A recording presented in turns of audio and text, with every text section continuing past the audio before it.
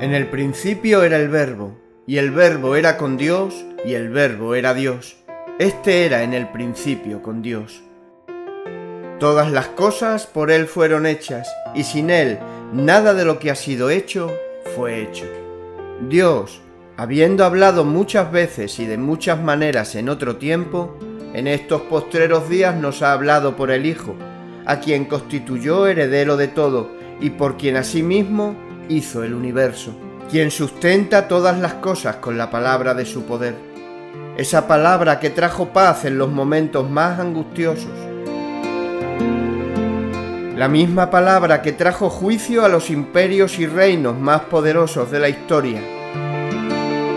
La palabra que trae vida para que en el día de Cristo podamos gloriarnos de no haber corrido en vano ni en vano trabajado y sobre todo una palabra que trae salvación por medio del Evangelio de Jesucristo. Desde Radio Luz a las Naciones queremos ofrecerte cada domingo en directo la palabra de Dios traída de la mano de nuestros hermanos en la fe para edificar y dar aliento a todos los oyentes. Te invitamos a unirte con nosotros y disfrutar de todo el contenido entrando en nuestro canal de YouTube o en nuestra página web.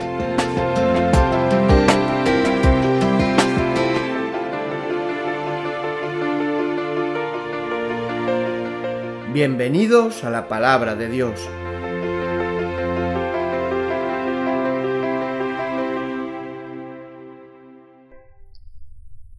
Buenas tardes, eh, eh, queremos pediros disculpas por este pequeño retraso. Eh, como bien decimos, en la cuña queremos emitir, queremos hacer, es nuestro deseo. Verdaderamente a veces la tecnología nos juega alguna pequeña eh, mala, mala cosa, pero bueno, gracias a Dios que también en esta tarde podemos estar con todos vosotros, ¿verdad? En un principio eh, no íbamos a emitir, pero bueno, gracias a Dios que sí que hemos podido hacerlo. ¿Y por qué gracias a Dios que hemos podido hacerlo? Porque nuestro deseo constante, nuestro deseo profundo es o debe ser, y yo sé que es, eh, pues seguir aprendiendo de nuestro Dios, ¿verdad? Seguir descubriendo aquellas verdades, eh, seguir siendo instruidos por Él mediante su palabra y mediante las personas que en su gracia pueden eh, con nosotros compartir esta palabra viva, esta palabra eficaz.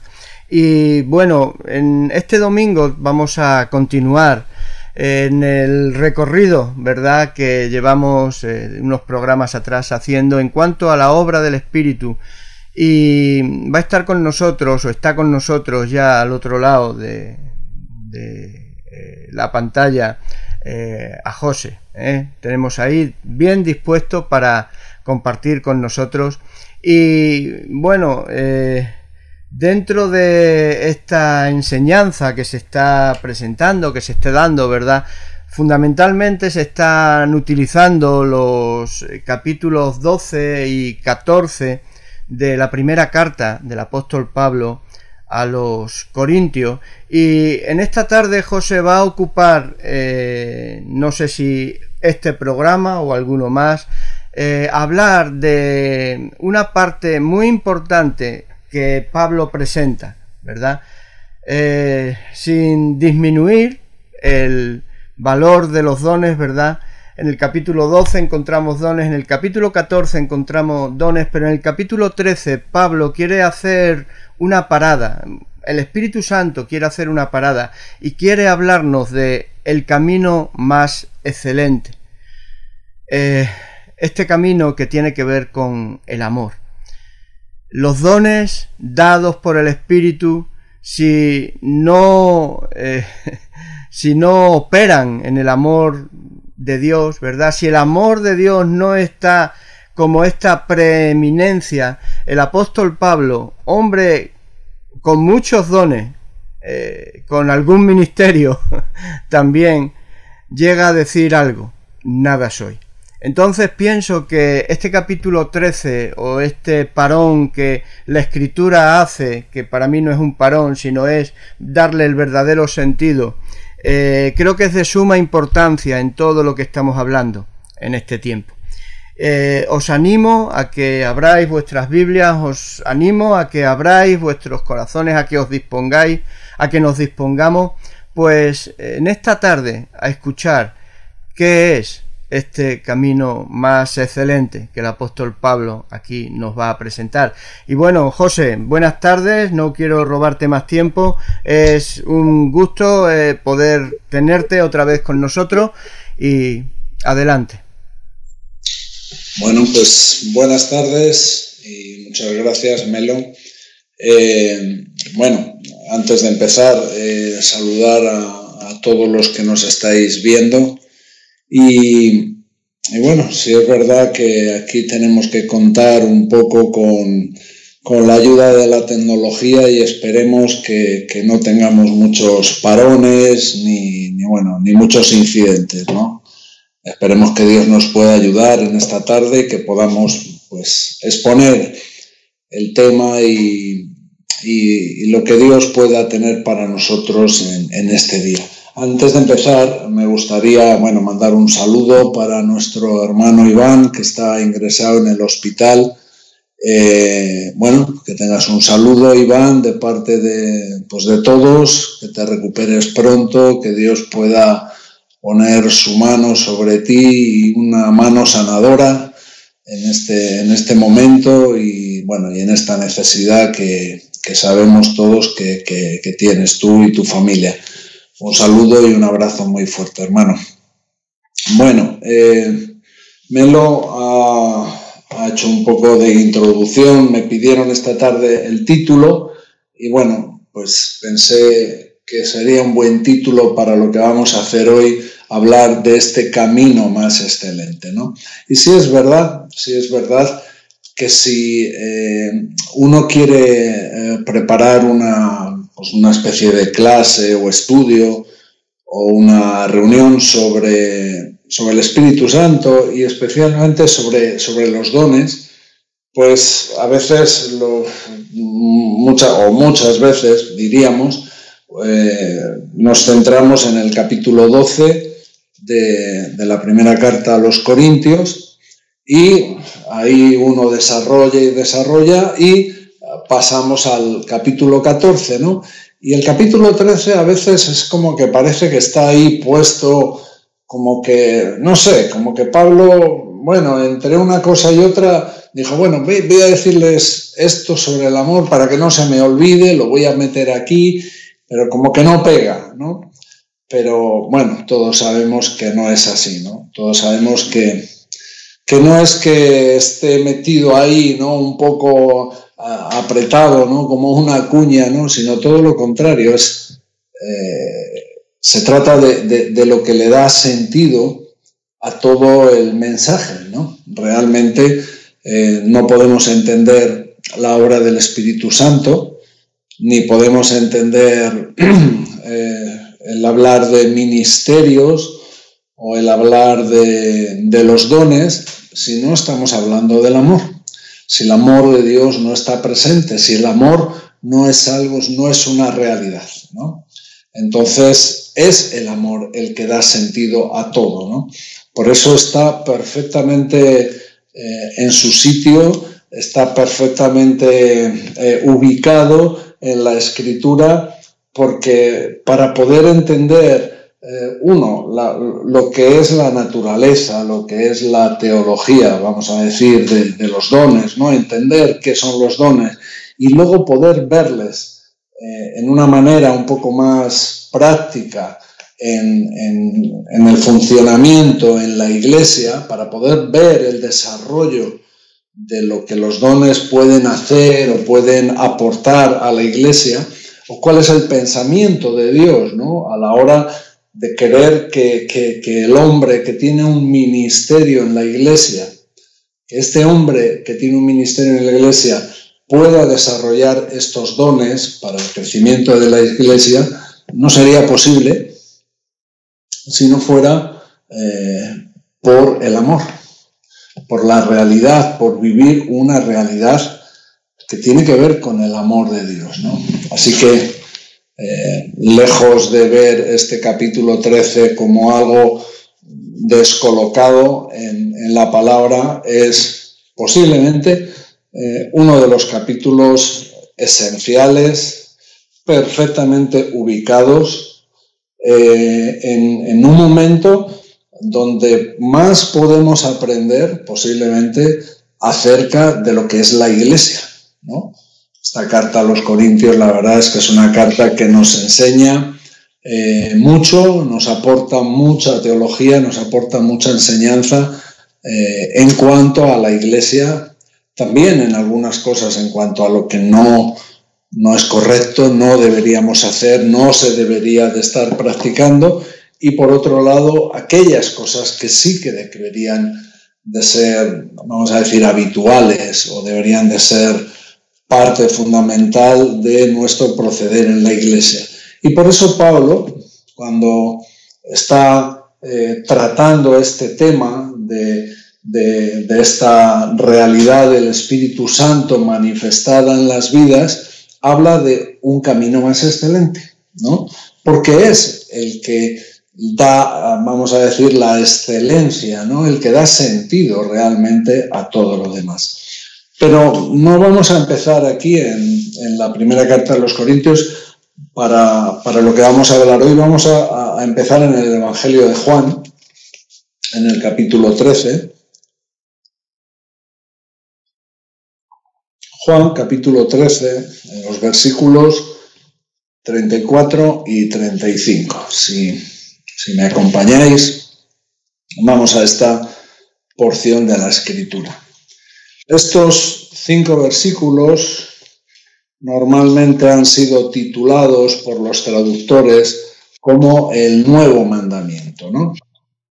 Eh, y nuevo no porque lo otro ya se ha quedado anticuado, eh, sino en cierta manera porque eh, lo que Cristo eh, viene a hacer en nuestras vidas y una de las realidades más importantes de lo que Cristo y su obra eh, produce en nuestras vidas, en nuestros corazones, es que podamos entender, que podamos, eh, vamos a decir, disfrutar o, o que sea una realidad para nosotros este mandamiento nuevo. ¿no? ¿Y de qué se trata? Bueno, versículo 34 dice, un mandamiento nuevo os doy, que os améis unos a otros, como yo os he amado, que también os améis unos a otros.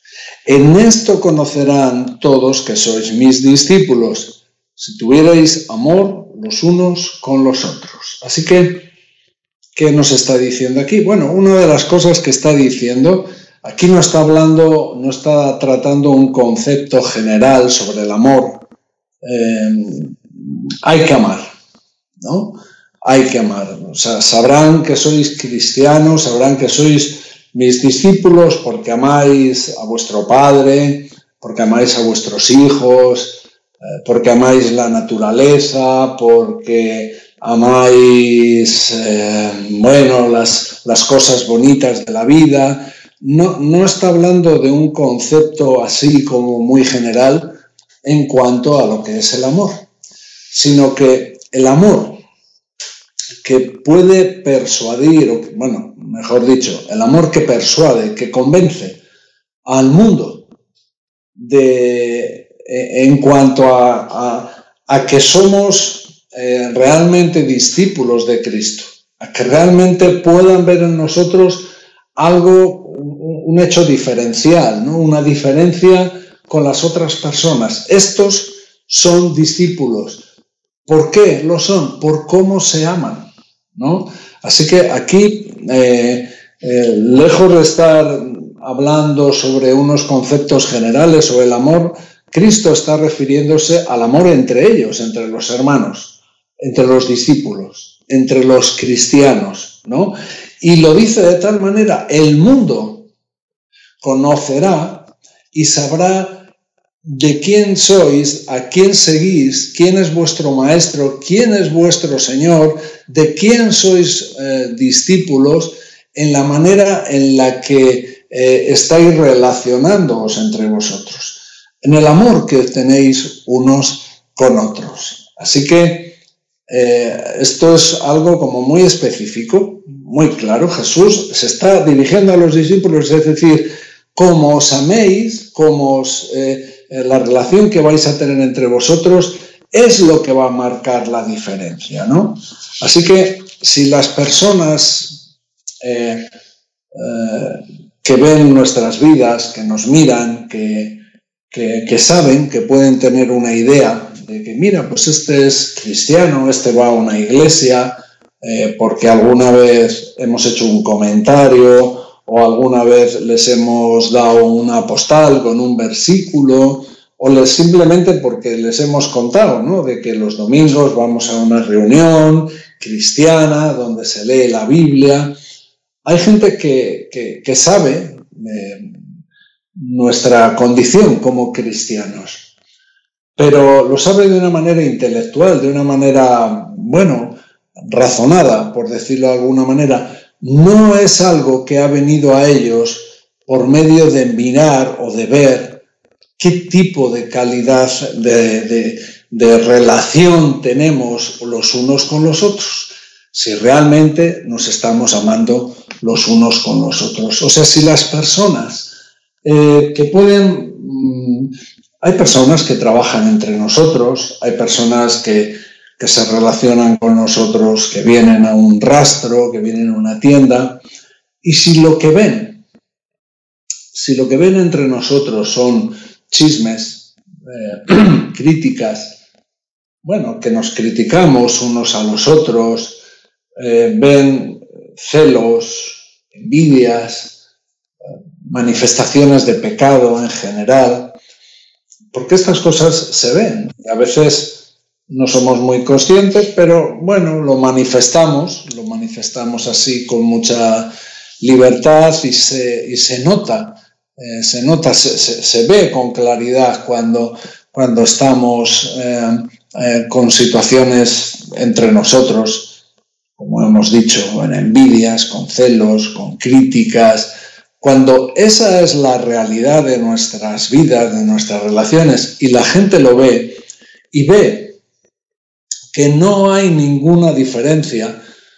Mm, eh, van a ver nuestra vida, o vamos a decir nuestra religión, como una hipocresía, como algo, bueno, pues sí, estos son cristianos como el otro es, mm, es bueno, le gusta un equipo de fútbol o este le gusta eh, ir a caminar por la naturaleza como un hobby, como una especie de, afición, como una, algo, algo a lo que estamos apuntados, pero nada más. No, verán nada más que eso. Eso es lo que ha visto la gente por años.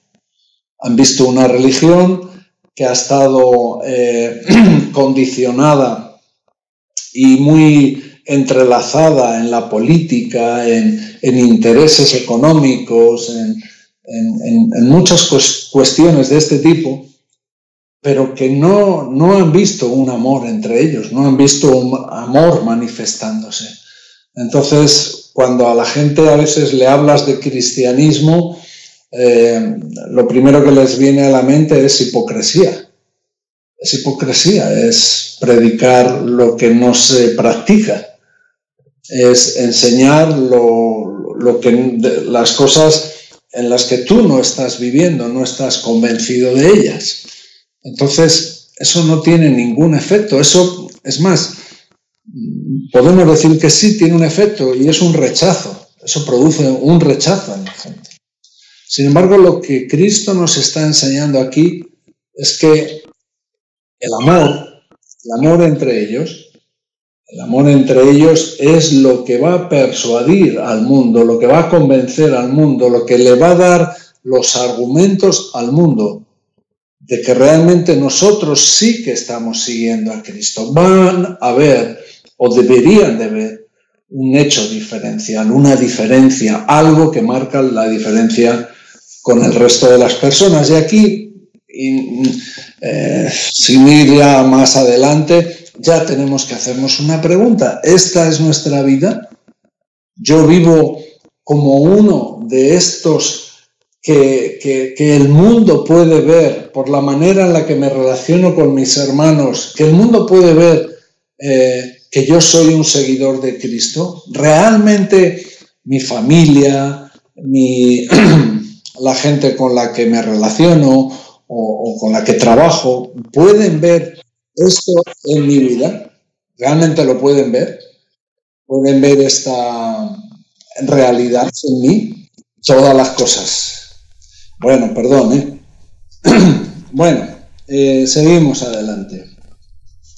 ¿Cuáles son las causas de todas estas situaciones, de toda esta hipocresía? Bueno, la razón, podemos decir, la raíz de estas cosas, todos sabemos que es que, que puede ser el egoísmo, ¿no?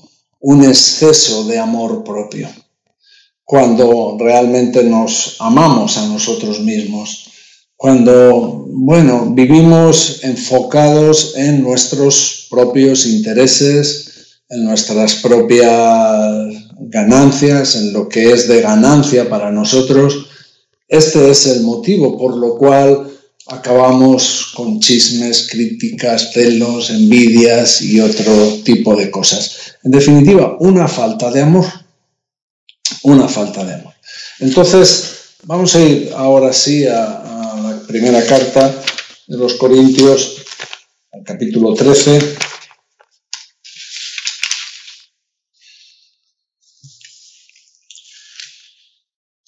Y los primeros tres versículos, si yo hablase lenguas humanas y angélicas, y no tengo amor, vengo a ser como metal que resuena o címbalo que retiñe. Y si tuviese profecía y entendiese todos los misterios y toda ciencia, y si tuviese toda la fe de tal manera que trasladase los montes y no tengo amor, nada soy. Y si repartiese todos mis bienes para dar de comer a los pobres, y si entregase mi cuerpo para ser quemado, y no tengo amor, de nada me sirve. Como veis en el primer versículo, habla de metal que resuena o címbalo que retiñe. ¿A qué es, ¿Por qué está poniendo este tipo de ejemplos? ¿no? ¿De qué está hablando aquí Pablo? Pues, eh, ¿Por qué usa esta, eh, este lenguaje? Bueno, está hablando que eh, metal que resuena o címbalo que retiñe, reteñir, es lo mismo que retumbar, ¿no? Cuando algo te retumba los oídos, ¿no? O metal que resuena. Está hablando, yo creo que está haciendo una alegoría a algo que es esto, algo que es una verdadera molestia, a cuando eh, la iglesia o lo que se vive en la iglesia se convierte en algo molesto. La iglesia debería de funcionar eh, como una especie de orquesta bien afinada, cada instrumento eh, sabiendo cuál es el tiempo, la melodía. Yo no soy músico, no, no entiendo bien, pero sí puedo apreciar cosas, las cosas que veo que, que suenan bien, que tienen un buen sonido, que son muy agradables al oído. Y sí podemos ver cualquiera cuando algo es molesto a nuestros oídos, retumba, retiñe, resuena, metal que resuena, címbalo que retiñe, ¿no? Como algo molesto. ¿Y qué está diciendo Pablo? Mira, yo puedo hablar lenguas humanas o angélicas, yo puedo tener el lenguaje más elevado, ¿no? ¿Qué, qué lenguaje más elevado que el lenguaje en el cual yo puedo comunicar con Dios? O sea, yo puedo tener el lenguaje más elevado, eh, la, manera de expresarme más elevada, no un don de lenguas, ¿eh? pero si no tengo amor, si el amor, eh, si, si, lo que soy, eh, si la capacitación que tengo, que he recibido de Dios, no está motivada por el amor, no está dirigida por el amor, vengo a ser algo molesto. Vengo a ser algo molesto. O sea, escucharme orar en lenguas o, tener un mensaje eh, en, la iglesia se convierte en algo molesto y no tiene eh, eh, aprovechamiento, no tiene propósito. Luego habla de la profecía, si tuviese profecía, nos han estado hablando de la profecía, del valor, de la importancia de la profecía. Si entendiese todos los misterios, si tuviese todo el conocimiento, un don de conocimiento, un don de ciencia y toda ciencia.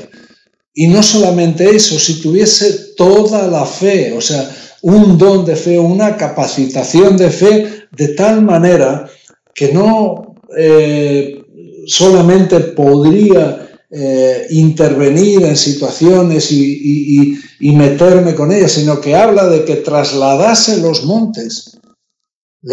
cuando los problemas y las situaciones se convierten en montañas y una fe que pudiera trasladar eso, pero si la motivación, si lo que nos lleva a esas cosas no es el amor, dice, nada soy, nada soy. Y versículo 3, si repartiese todos mis bienes para dar de comer a los pobres, qué generosidad, qué, qué medida de, entrega, de generosidad. Y si entregase mi cuerpo para ser quemado, o sea, bueno, ¿qué, qué, qué podemos decir de, de, ese tipo de entrega, ¿no? Cuando uno es capaz de entregar todo, pero si no está motivado, si no está dirigido, si no está envuelto, si el sentido de todo no es el amor, de nada me sirve. Es lo que está diciendo Pablo en estos tres eh, versículos. O sea, está hablando de las cosas más preciadas para el hombre, más preciadas para un hombre cristiano. ¿Qué es lo que quiere un hombre cristiano? Un hombre cristiano quiere una capacitación del cielo, una investidura del cielo que, que, le dé una sabiduría más allá de la que tuvo Salomón, una, un don de ciencia, profecía, lenguas angélicas y, y humanas,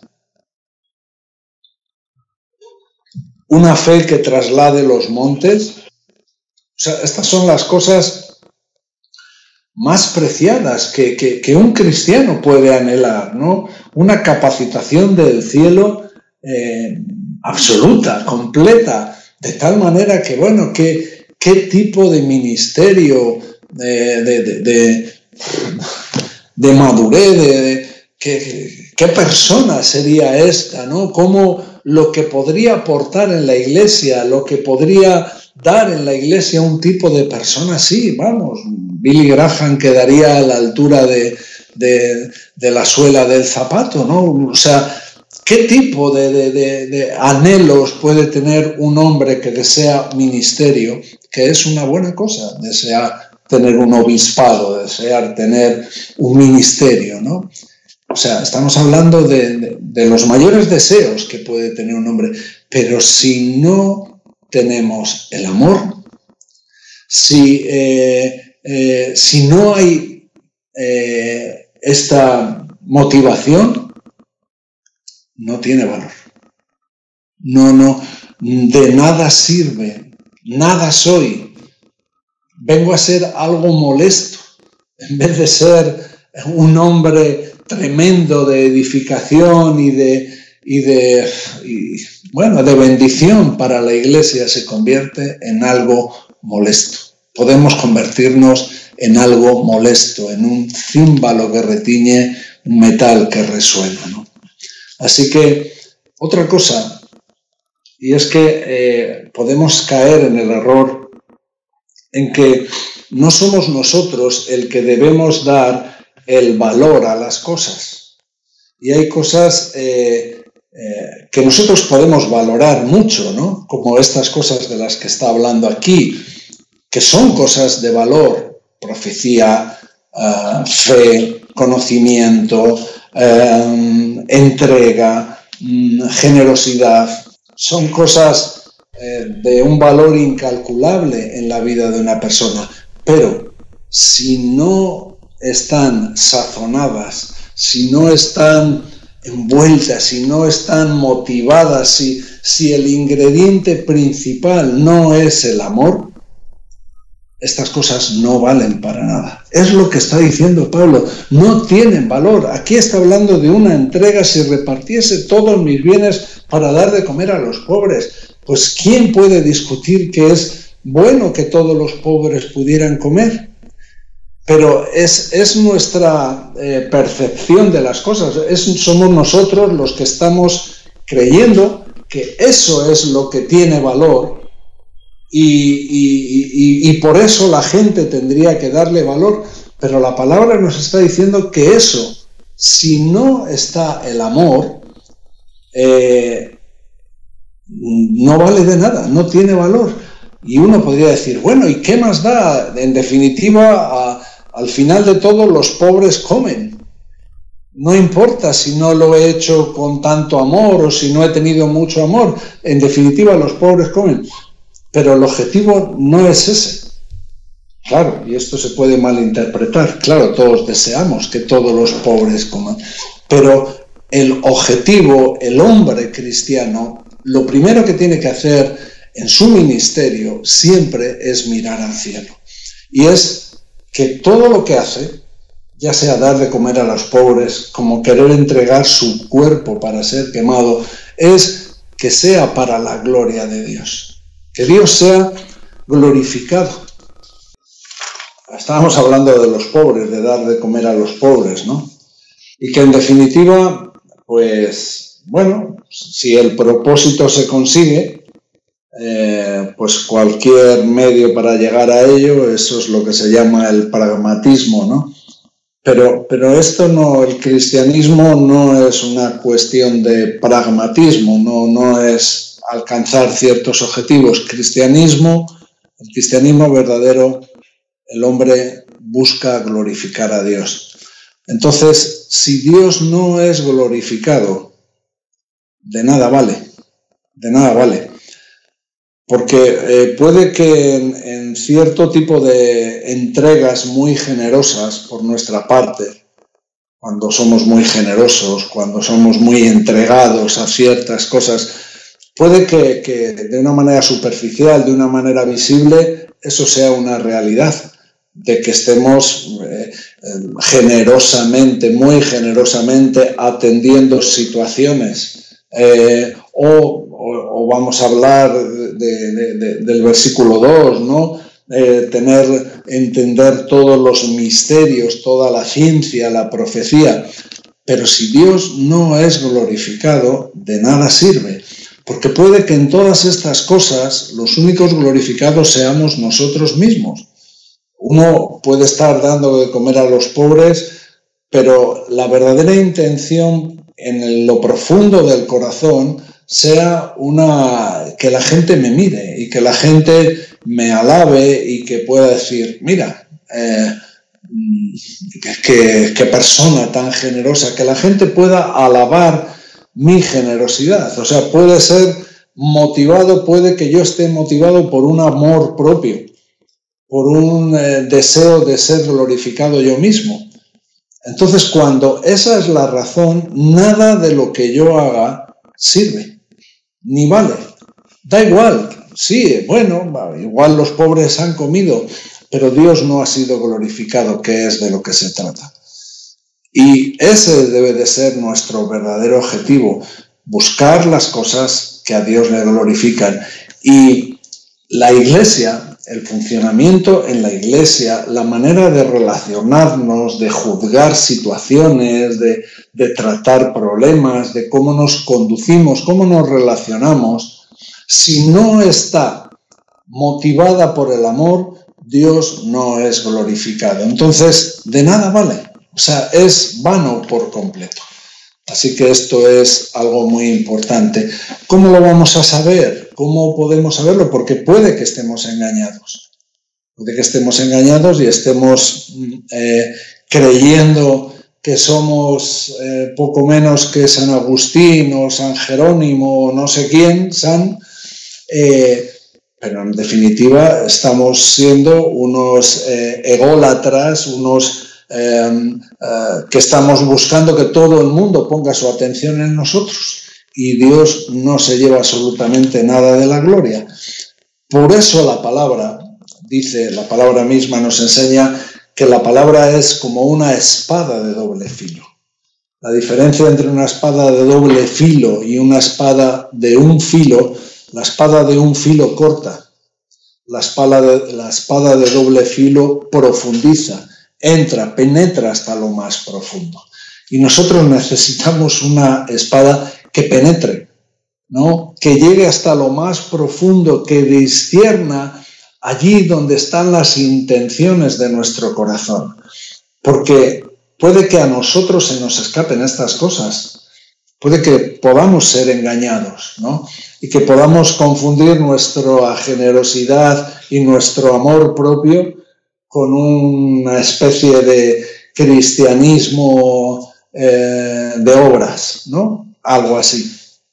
Pero eso no tiene nada que ver con el cristianismo real. Así que necesitamos esta palabra que profundiza, discierne las intenciones y nos revela exactamente cuáles son las intenciones de nuestro corazón. Por eso el cristiano necesita la palabra para conocer a Dios, para eh, entender cuál es la voluntad de Dios, pero también para conocer las intenciones de nuestro corazón, ¿no? Para saber si realmente estamos viviendo de manera que Dios es glorificado o no lo es, ¿no?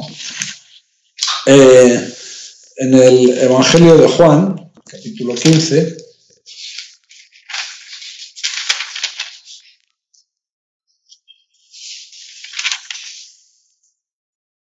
versículo 13 dice, nadie tiene mayor amor que este, que uno ponga su vida por sus amigos.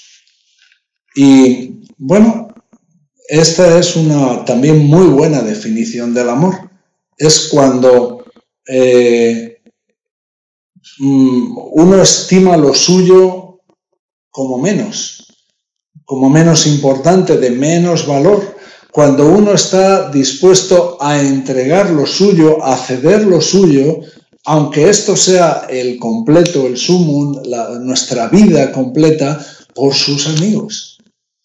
Esta es la verdadera motivación que hace que las cosas sean completamente diferentes, de negro a blanco, de que sean completamente diferentes, de que Dios sea glorificado o de que Dios no sea glorificado.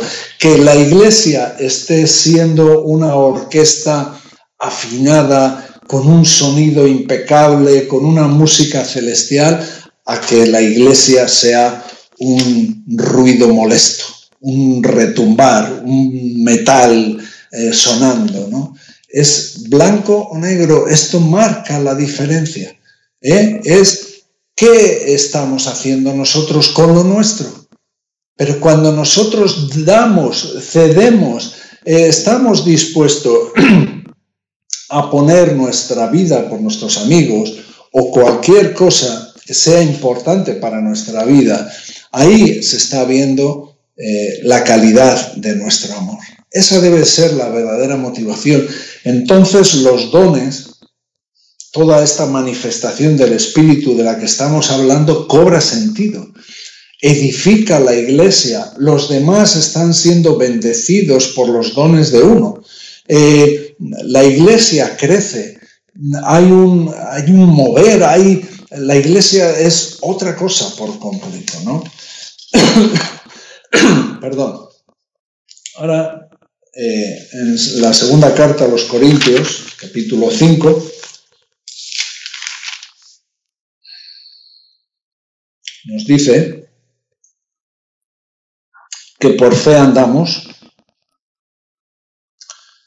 no por vista, Por fe andamos y no por vista. Es la fe la que eh, nos, nos ayuda a caminar, nos ayuda a ir dando paso a paso.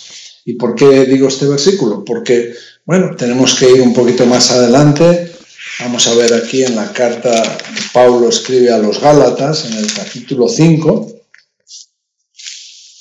Hemos visto ahí lo que nos dice Segunda de Corintios, que es por la fe por la que andamos, ¿no? Es la fe el, instrumento imprescindible en nuestro andar cristiano, nuestro caminar cristiano.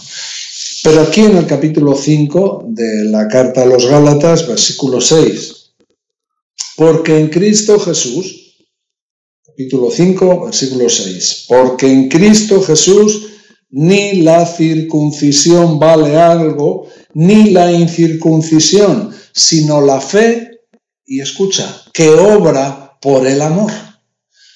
La fe que obra por el amor, cómo la fe se convierte en algo práctico, en algo eh, que, que, que, que conecta las cosas, en algo que da vida a las cosas, en algo que hace que las cosas funcionen, es a través del amor.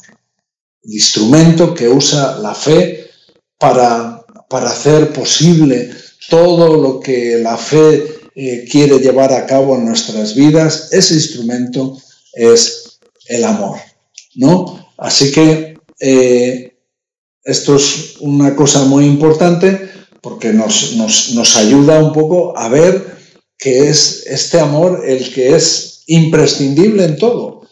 Tenemos que caminar, tenemos que funcionar como cristianos, sí, es por la fe, pero la fe obra por el amor. Los dones tienen que ser una realidad en el crecimiento de la iglesia, sí, pero a través del amor, motivados por el amor, eh, cediendo lo tuyo en beneficio de los demás, eh, amando lo de los demás más que a lo tuyo propio, ¿no?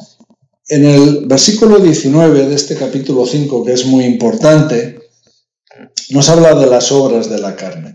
Manifiestas son las obras de la carne. No vamos a, a meternos aquí. Pero aquí nos habla de un aspecto de nuestra naturaleza carnal, ¿no? Las obras de la carne, lo que la carne manifiesta eh, adulterio, fornicación, inmundicia, lascivia, idolatría, etcétera, etcétera, etcétera. Pero al mismo tiempo, en el versículo 22 nos habla más el fruto del Espíritu, ¿no? Y aquí hay que ver que no habla de frutos, habla de un fruto. Así como las obras de la carne son muchas, hay un fruto del Espíritu. Y este fruto del Espíritu, lo primero que lo describe, la primera cosa que nos ayuda a, entender de qué se trata cuando el Espíritu está fructificando en nuestras vidas es el amor. Y esto nos ayuda a otra cosa, a saber, y es que el amor, este amor del que estamos hablando, no puede venir de un esfuerzo nuestro. perdón, no viene de una disciplina, de un, bueno, voy a amar a esta persona y no, no, es algo que tiene que venir del Espíritu. Es el fruto del Espíritu es amor. Es el Espíritu el que produce este amor en nosotros, ¿no? Eh, pero, perdona.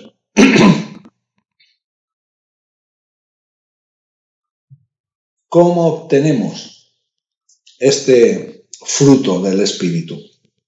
¿Cómo viene a nuestras vidas? Ya hemos dicho que tiene que ser el Espíritu, pero ¿cómo funciona? ¿Cuál es el mecanismo? ¿Cómo, cómo resulta esto de, que yo quiero que, que, empezar a fructificar, que, que el Espíritu dé fruto en mi vida, que ese fruto del Espíritu empiece a germinar en mi vida? ¿Por dónde tengo que empezar? ¿Qué tengo que hacer? Sí, sé que el Espíritu es el que lo tiene que hacer, pero ¿cómo hago? ¿Qué es la cosa?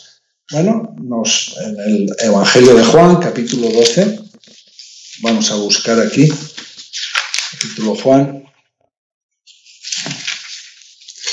versículo 12, capítulo 12, perdón, de Juan, versículo 24. De cierto, de cierto os digo que si el grano de trigo no cae en la tierra y muere, queda solo, pero si muere, lleva mucho fruto. Sé que aquí tenemos un misterio, una, una clave eh, espiritual. Para que haya fruto, para que el espíritu fructifique en nuestras vidas, algo tiene que morir. Algo tiene que morir. Eh, ¿Qué es lo que tiene que morir? Bueno, tiene que morir esa naturaleza carnal, ¿no? ¿Cómo tiene que morir? Eh, porque sí, yo ahora, vale, ya entiendo, algo tiene que morir, es esa naturaleza carnal, ¿cómo lo hago? Bueno, vamos a Romanos capítulo 8,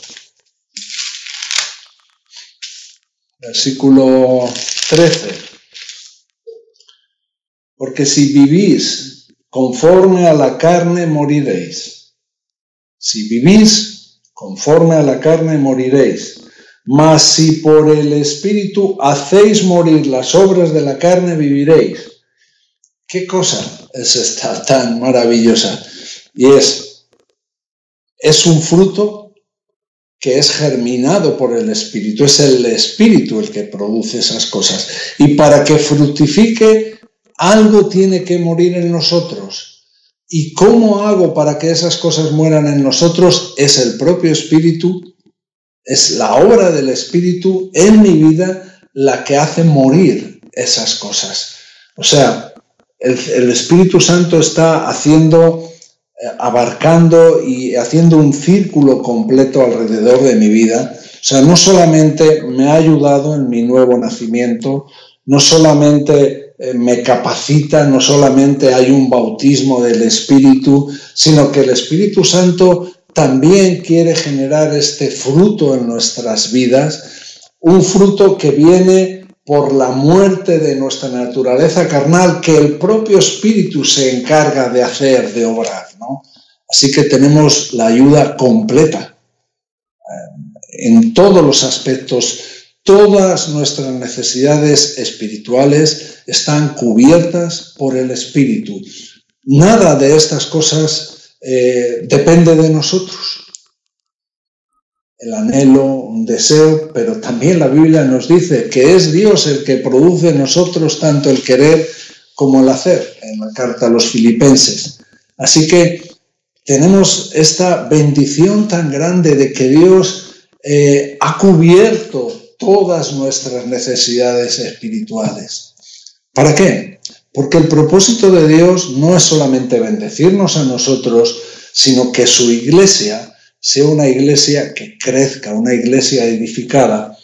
Eh, hemos estado viendo eh, en el Antiguo Testamento estos días cómo Dios se involucraba en la reconstrucción del templo, cómo capacitaba con el Espíritu a los eh, pedreros, a los que picaban la piedra, a los carpinteros, cómo Dios se involucra en, en reconstruir al templo. Y eso es un símbolo una especie de, reflejo de lo que Dios iba a hacer en su iglesia, de la realidad que nosotros podemos vivir hoy. Aquellas historias de cuando se construyó el primer templo y después el segundo templo nos hablan de nuestra realidad. Eran tipos, eh, eran eh, especies de palabras proféticas que nos hablan de lo que Dios quiere hacer hoy en nuestra vida. Dios quiere edificar su iglesia y quiere hacerla con nosotros y quiere hacerla eh, capacitándonos de esos dones. ¿Cómo lo hace? Desarrollando estos frutos en nuestras vidas, especialmente.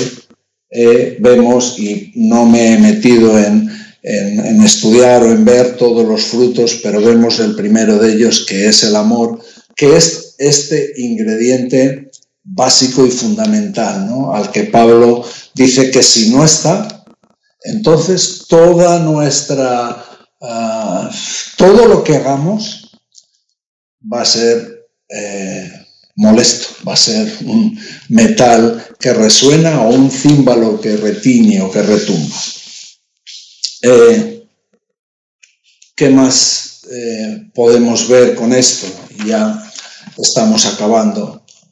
No hace falta que lo busquéis, pero en Romanos capítulo 13, en el versículo 8 nos dice que el que ama ha cumplido la ley.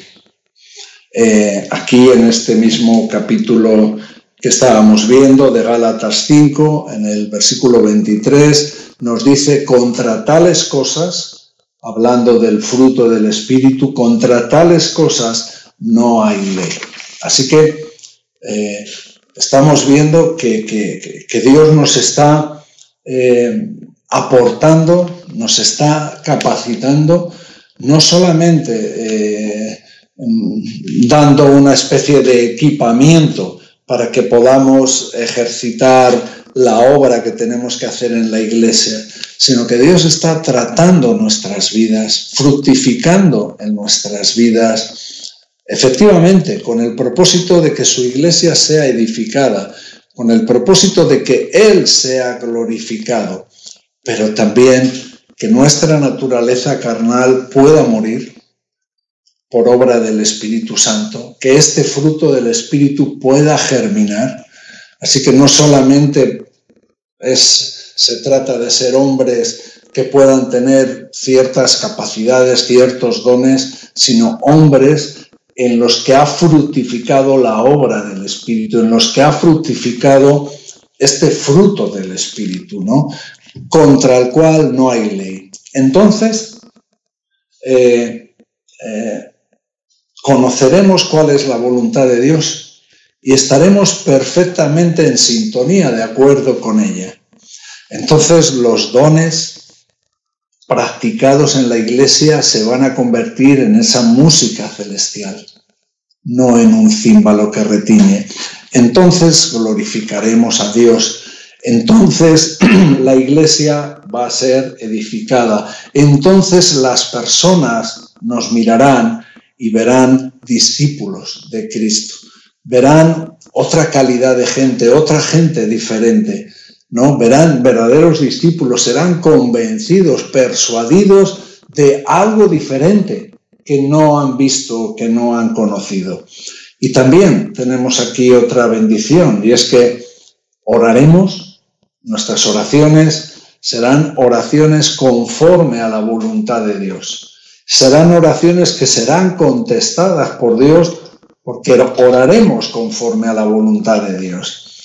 Así que eh, todo esto que estamos eh, tratando ya desde hace varios días, esta obra maravillosa del Espíritu Santo, desde el nuevo nacimiento, desde el momento en el que nos convence de pecado, todo este desarrollo, todo lo que Él hace en nosotros, podemos ver eh, una manifestación del amor de Dios de la, de la preocupación de Dios por, por su pueblo, de cómo Dios no quiere dejarnos en esta condición en la que estamos, quiere modelarnos, quiere que quitar de nosotros las impurezas, como el alfarero quita lo que estorba de su vasija y, hace que la moldea y le da forma para que pueda servir, para que pueda ser útil para aquello que Él ha tenido en su corazón, en su mente. Eso es lo que Dios está tratando con nosotros.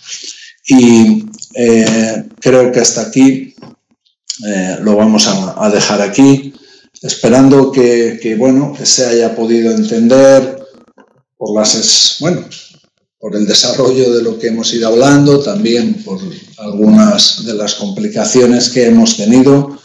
Eh, deseo que Dios os bendiga y me gustaría hacer una oración para despedirnos. Señor, agradecemos este, este amor sin medida, Señor. Esta manera de tratar con nosotros, Señor. Este anhelo, Señor, por tu parte, Señor, de, de limpiar nuestras vidas, de hacer morir en nosotros todo lo que estorba, Señor. De ser unos eh, instrumentos, unos eh, herramientas consagradas en, tu, en tu santuario, en tu santo templo, herramientas que puedan servir para que tú seas glorificado, para que podamos eh, edificar tu iglesia, Señor. Y sabemos que esto no sería posible nunca por nuestro esfuerzo, por nuestras capacitaciones, ni siquiera por los dones que hubiéramos tenido, a no ser que también nos hubieras dado este fruto, este amor eh, que hace que, que, tú te lleves toda la gloria, Señor.